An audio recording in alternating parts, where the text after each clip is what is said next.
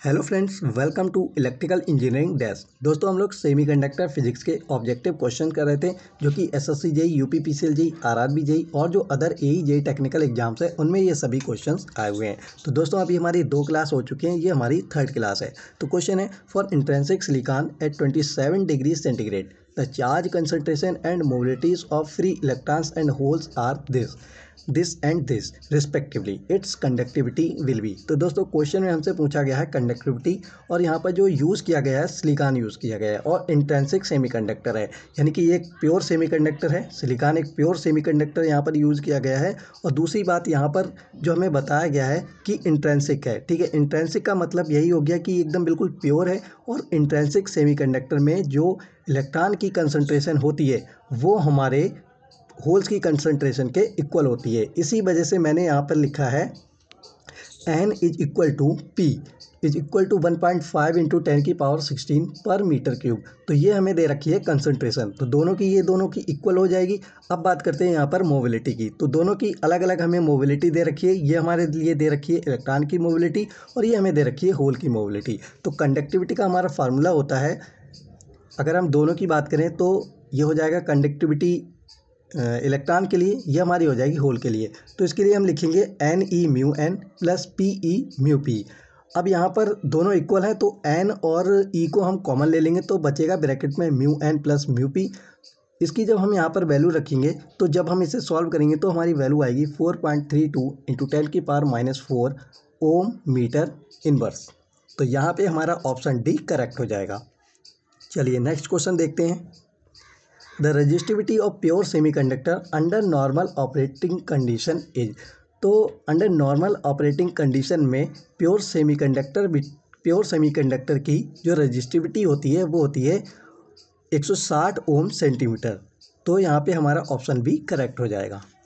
Next है an extrinsic semiconductor has extrinsic semiconductor जो होते हैं, वो हमारे प्योर सेमीकंडक्टर नहीं होते हैं। इसमें हम लोग क्या करते हैं? डोपिंग करते हैं। इसी वजह से हमारी ये जो एक्सटेंसिक सेमीकंडक्टर हैं, दो टाइप के बन जाते हैं, एक पी टाइप के और एक एन टाइप के।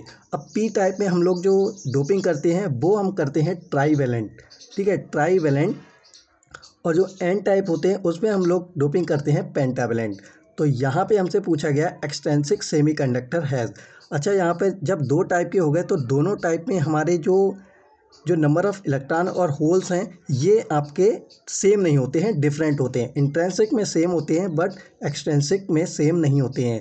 तो अगर हम बात करें एन टाइप की तो एन टाइप में मेजोरिटी जो होते हैं, वो आपके होते हैं इलेक्ट्रॉन और पी टाइप में बात करें तो पी टाइप में मेजोरिटी होते हैं आपके होल्स और माइनॉरिटी हो जाएँगे यहाँ पर इलेक्ट्रॉन तो यहाँ पे आइदर मोर होल और मोर फ्री इलेक्ट्रॉन तो यहाँ पे हमारा जो करेक्ट आंसर होगा वो सी होगा।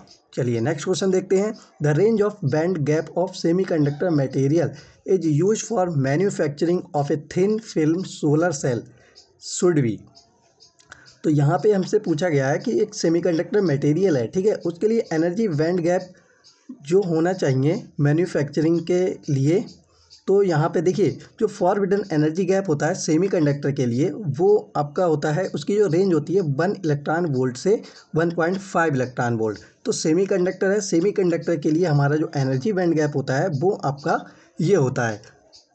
अब एनर्जी बैंड गैप देखिए दोस्तों, यहाँ पर अगर हम बात करें, एक हमारा आता है एमोरफस सिलिकॉन इसको हम शॉर्ट में लिखते हैं ए एस आई तो इसके लिए होता है one point seven electron volt crystalline silicon के लिए होता है one point one electron volt. तो यहाँ पे जो रेंज है लगभग आपकी एक इलेक्ट्रॉन से लगभग एक पॉइंट पाँच इलेक्ट्रॉन वोल्ट तक है। तो यहाँ पे हमारा जो करेक्ट आंसर हो जाएगा वो यहाँ पर बी ऑप्शन हो जाएगा, ठीक है? चलिए नेक्स्ट क्वेश्चन है, electrical conductivity of a semiconductor semiconductor की इलेक्ट्रिकल कंडक्टिविटी होती है electrical conductivity of a semiconductor देखिए इलेक्ट्रिकल जो कंडक्टिविटी है सेमी कंडक्टर की, वो टेम्परेचर के बढ़ने पे आपकी बढ़ती है कंडक्टिविटी ठीक है? देखिए temperature coefficient of semiconductor semiconductor का टेम्परेचर कॉफ्सेंट होता है नेगेटिव अब नेगेटिव टेम्परेचर कॉफ्सेंट होने का मतलब हुआ कि जब अगर हम टेम्परेचर को बढ़ाएँगे तो रेजिस्टेंस उसका डिक्रीज़ होगा. रेजिस्टेंस डिक्रीज़ होगा, यानी कि उसकी रजिस्टिविटी भी डिक्रीज़ होगी. लेकिन जो करंट है, वो आपकी इंक्रीज़ होगी.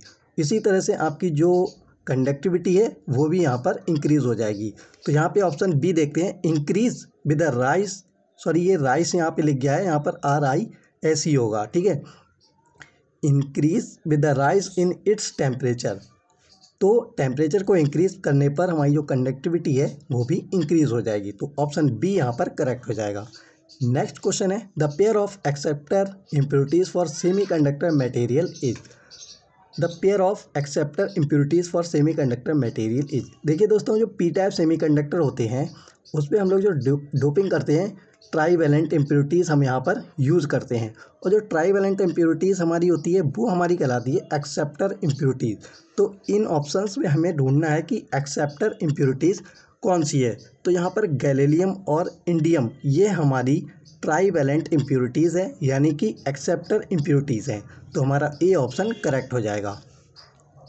नेक्स्ट है germanium and silicon are generally use as तो जर्मेनियम और सिलिकॉन है, ये हमारे सेमी कंडक्टर हैं।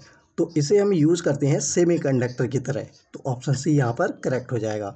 नेक्स्ट है maximum number of electrons in valence shell of an atom is तो देखिए, जो मैक्सिमम नंबर होता है इलेक्ट्रॉन का बैलेंस सेल में तो वो होता है आपका आठ। The maximum number of electron in valence shell of an atom is eight. Example के लिए हम यहाँ पर जर्मेनियम देखते हैं तो जर्मेनियम का एटॉमिक नंबर होता है थर्टी टू। तो इसे हम लिखते हैं दो, आठ, अठारह, चार। अब ये जो लास्ट सेल है, ये हमारे होते हैं बैलेंस इलेक्ट्रॉन। तो लास्ट जो सेल होती है, उसमें अंतिम कक्षा में जो इलेक्ट्रॉन की जो संख्या मैक्सिमम हो सकती है, वो आठ हो सकती है। तो देखिए, यहाँ पर क्या होता है, चार है। इसे हम, इसे जो है यहाँ पर चार की ज़रूरत होती है। चार इलेक्ट्रॉन की यहाँ पर इसे ज़रूरत होती है। तो इस वजह से ये क्या करता है, कोवलेंट बॉन्ड बनाता है ये। तो यहाँ पे हमारा जो ऑप्शन करेक्ट होगा सी।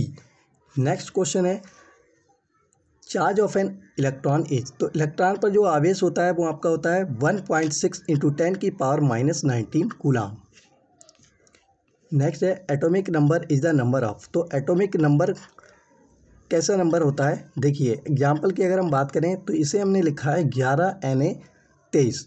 तो ये जो ग्यारह है, ये हमारा होता है एटॉमिक नंबर या इसी को हम बोलते हैं इलेक्ट्रॉन नंबर और ये जो ऊपर लिखा है, इसे हम बोलते हैं मास नंबर अब फार्मूला हमारा होता है A is equal to Z plus N यानी कि mass number is equal to atomic number plus neutron atomic number में क्या होता है कि जो इलेक्ट्रॉन होती है, होते हैं, उनकी जो संख्या होती है, वो प्रोटॉन की संख्या के बराबर होती है।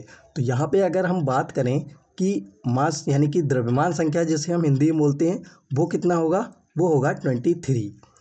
अब यहाँ पर बात करें एटॉमिक नंबर, या हम कह सकते हैं इलेक्ट्रॉन की संख्या या प्रोटॉन की संख्या, वो यहाँ पर होगी ग्यारह। अब अगर हम बात करें न्यूट्रॉन की तो न्यूट्रॉन की संख्या निकालने के लिए हम तेईस में से ग्यारह को घटा सकते हैं या हम ग्यारह में बारह को जोड़ सकते हैं।